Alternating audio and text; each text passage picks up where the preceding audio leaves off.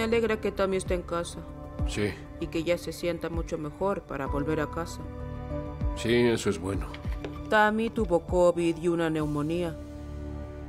Estuvo en el hospital por dos semanas. Cuando supe que tenía COVID pensé lo peor. Pensé, oh, este es el final, se va a morir. Pude perder a mi hermana. El bebé se va a despertar pronto. Creo que Ajá. será en una hora. Pero le llevaré esta comida a Tammy. Está bien. Ya vuelvo. Solo he visto a Tammy por la ventana y por el teléfono. Pero se ve muy mal. No está bien en este momento.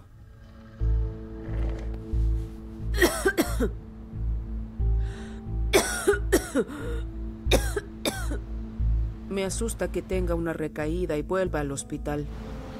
Aún no se recupera del todo porque sigue con un tanque de oxígeno.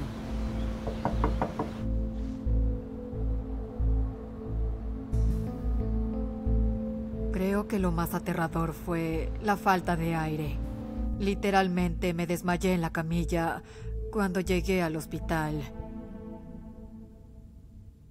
En emergencias, mis síntomas empeoraron.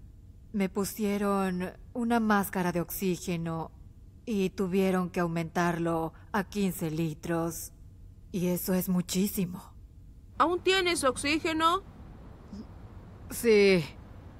Mis pulmones ya estaban mal y el COVID los empeoró. Usaré oxígeno por un tiempo hasta que mis pulmones se fortalezcan. Si me lo quito, empiezo a sentirme muy débil y mareada. ¿Cuándo podremos verte con el bebé? En una semana. Quiero que sostengas al bebé. Estuve muy preocupada. Nunca se sabe, porque la última vez que tuviste neumonía terminaste con soporte vital. Estuve a punto esta vez. Lo sé, fue aterrador. Me trajo malos recuerdos. Tammy ya ha pasado por esto. Ha tenido soporte vital, pero ahora es peor porque pesa más. No puedo creer que Chris también se contagiara. Sí. ¿Cómo está él? Está mucho mejor. Creo que ya tiene bajo control sus dolores musculares. Chris también tiene COVID y él y su esposa han estado en casa por dos semanas. No creo que ninguno de los dos sepa cómo se contagiaron. Te puedes contagiar en cualquier parte, pero con ellos no sabemos dónde fue. Espero que tu trasero se enfríe. Ya no tengo trasero para que se enfríe. Te traje comida. Mueve tu p trasero y ven por ella. Come la p. Estúpida. Es saludable, es una banana. ¿Las bananas son saludables? Sí, comparada con la mierda que comes. Espera cinco minutos antes de venir a buscarla, porque yo no quiero oxígeno. No quiero oxígeno. Adiós, p. Adiós. Tammy tendrá una cita con el doctor y estoy asustada, porque aunque perdió peso en el hospital, ahora ya está en casa y no puede moverse tanto. Entonces recuperó su peso y más. Usa oxígeno 24/7. Está encerrada en casa, después quedará postrada y va a empeorar muy rápido.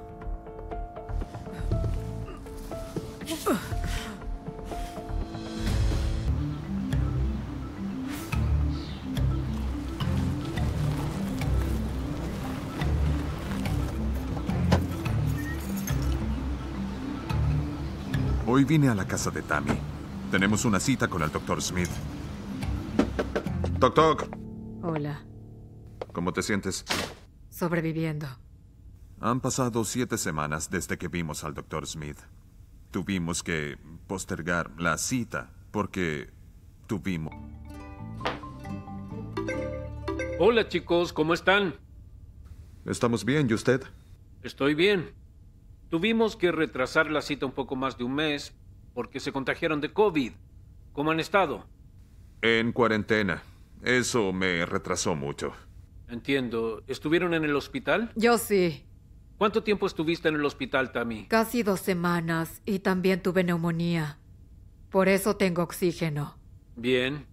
Me preocupa ver que Tammy necesita oxígeno después del COVID. Sabemos que ya tiene problemas pulmonares y alguien con su peso tiene más riesgos de que eso termine en una cirugía. Tammy, la última vez que te pesaste en mi oficina, pesabas 292 kilos. Veamos cuánto pesas ahora en comparación a esa vez. La última vez que vi a Tammy pesaba 292 kilos. En esa ocasión le pedí que perdiera 11 kilos. Lista.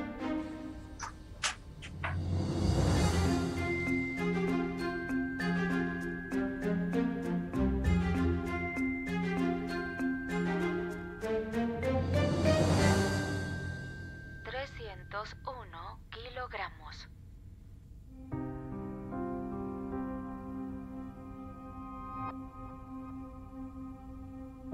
Entonces, pesas 9 kilos más que la última vez, ¿correcto?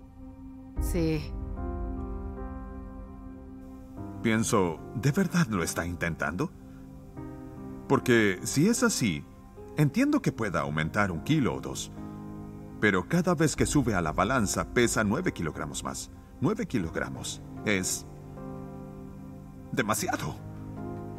Creo que yo estoy fallando como un compañero de dieta. Bueno. ¿Y qué fue lo que pasó? Porque no hice lo que tenía que hacer. A veces trato de comer cosas saludables, pero hay días que digo, vamos, ¿de qué sirve? Y cuando tomas esas malas decisiones, ¿cómo te sientes? Más deprimida. Porque sé que no debería comer todo eso, pero lo hago y... No sé cómo parar. Bien. Eres honesta. No es que tengas hambre, es una adicción que te hace necesitar esa comida cuando estás triste o cuando algo falta en tu vida. Creo que es algo de lo que tenemos que hablar y tratar. Muy importante hacerlo. Hoy al fin logré que Tammy admitiera que no es capaz de hacer lo que necesita y hasta dijo que le es muy difícil parar de comer. Esto no solo se trata de enseñarle qué comer y qué no comer, es un problema mucho más grande, es una adicción. Estoy orgulloso de ti porque lo admitiste y dijiste, no sé cómo parar. Ese es el primer paso para tratar de ayudarte y tú lo hiciste, Tammy. Pudiste culpar al hecho de no poder salir de la cama, pudiste culpar al COVID, pudiste culpar al hecho de que estuviste en el hospital pero no lo hiciste. Y aunque no lo creas, eso es dar un paso adelante. Lograste avanzar Ah, no. aunque tu peso haya aumentado. ¿Estamos más cerca de la cirugía? Claro que no, no lo estamos. Pero estamos más cerca de llegar a la raíz de tu problema y eso es positivo. Mi trabajo es encontrar una manera de motivarte a ser más saludable. Y sé que en el pasado, Tammy, has hablado con personas y has ido a terapia. ¿Estás dispuesta a volver a hacerlo? Ah, sí, pero quiero ir sola. No con mi familia. De acuerdo. Creo que esta es la primera vez que admito que tengo un problema y no sé cómo solucionarlo. Espero que pueda resolverlo con ayuda de la terapia.